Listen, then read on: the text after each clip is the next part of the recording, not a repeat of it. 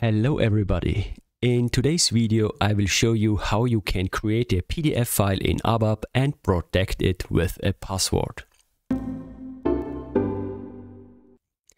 So for today's example we open the transaction AL11.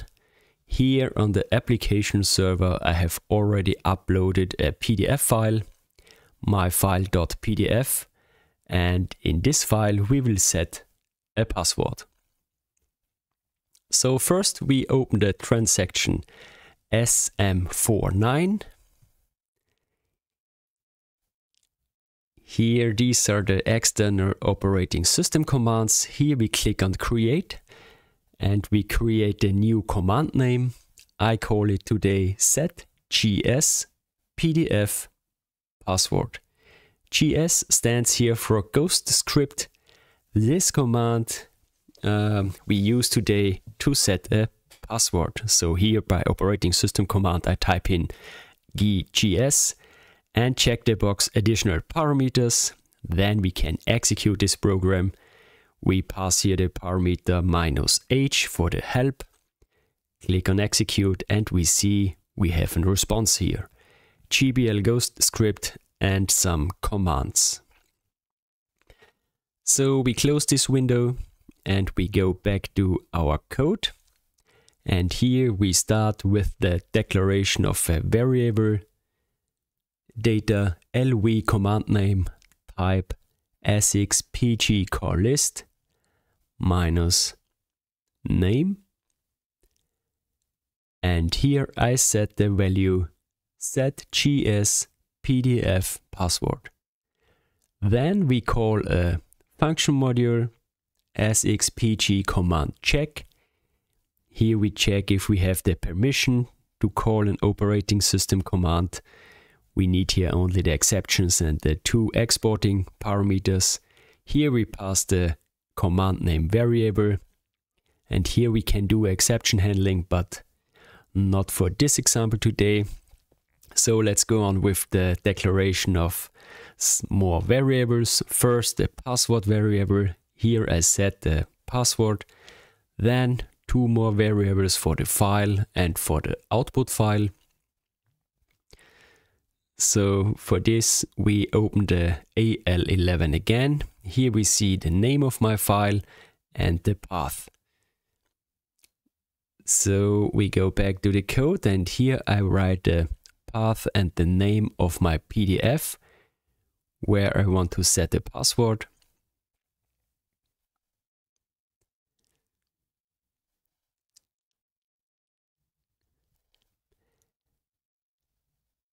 And in the next variable I type the path and the file name from my output file. So I type here output.pdf. Next we define the variables for the parameters lv params type sxpgcolist minus parameters. So we can copy this here from here minus parameters. And then we define the internal table LT protocol type standard table of BTC XPM. This is for the execution protocol.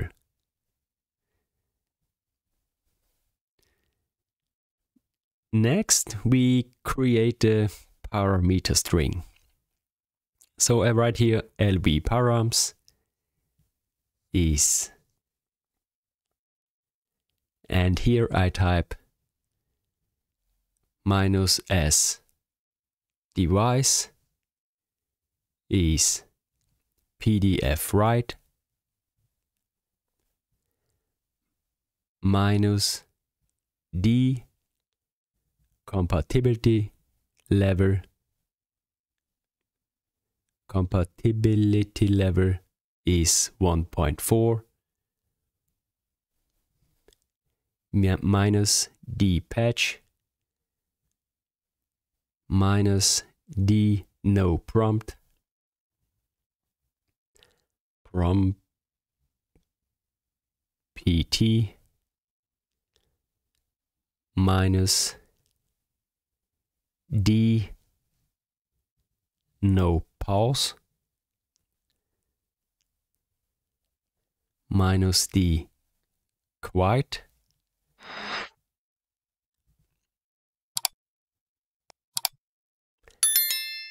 And then we pass the parameter for the password first.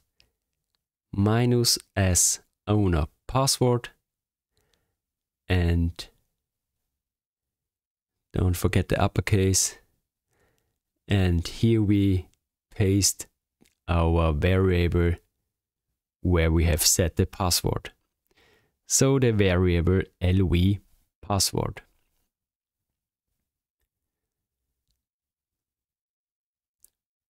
then we need another password parameter called minus s user password. And here we paste the password variable again. And then we type in the parameter for the output file as minus s output file and here we paste the variable from our output file lv file out. And then the source file lv file.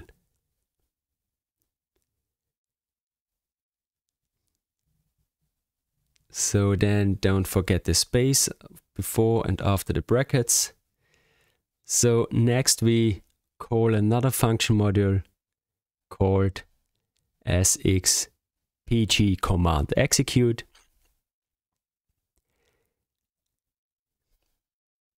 Here we need the three exporting parameters and the table for the execution protocol and the exceptions.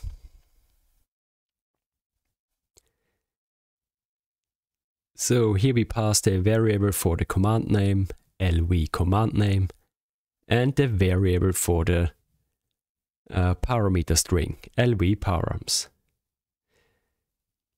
And here we type in the internal table LT protocol for the execution protocol. So here we can do a simple uh, error handling. So if we have an sub RC, we write error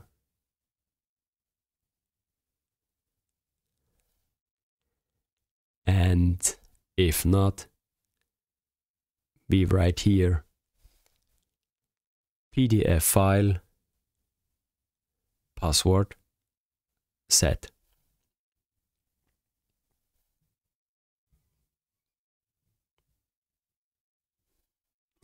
so pretty print and I see here a message, error in formatting from line 1. Okay, but there is no error in line 1. So let's activate the source. One error found, okay, edit. Double click on this error and there is a error with the variables and with the bracket. So let's check this. Okay, here a space is missing after the bracket, so activate again. And now let's run the program. So we see the message PDF file password set. So let's go back and open the application server, refresh the directory and we see here generated output.pdf file. So next, let's download this PDF file to my local computer. I have already written a program for this. So a file is downloaded. We see it here, output.pdf. Double click on it. Now we see a password prompt because the PDF is password protected. So let's type in here our password and we see my test PDF file with an QR code. Okay, let's close this again let's delete the output PDF. And now let's do some debugging. So, okay, not this program. So let's scroll down to our PDF password program. And now let's check uh, if we make an uh, parameter invalid. So I type here 1 to the PDF write parameter and I set then a breakpoint here and then let's run the program and we see if we double click here the sub RC is 0 but we have an invalid parameter. So let's check the execution protocol. Double click on LT protocol and here we see two entries. We see here unknown device, PDF write is unknown. Okay, external program terminated. So it's uh, the message here is wrong. So for you, it's always important to check the to check the LT protocol. So we see here, if we refresh here, there is no PDF file generated. So it's very important to check the execution protocol. Okay, so let's remove the one and let's activate the program and run the program again. So let's check the debugger. Here is null, it's okay, and the execution protocol is empty.